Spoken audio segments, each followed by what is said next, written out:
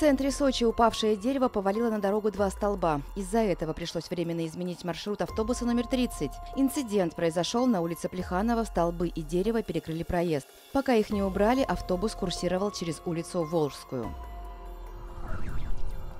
Очередная кража попала на камеры видеонаблюдения. По всей видимости, туристке так припекало солнце, что она решила своровать панамку в одном из магазинчиков курортных товаров. Теперь женщина знаменитое видео набирает просмотры в социальных сетях.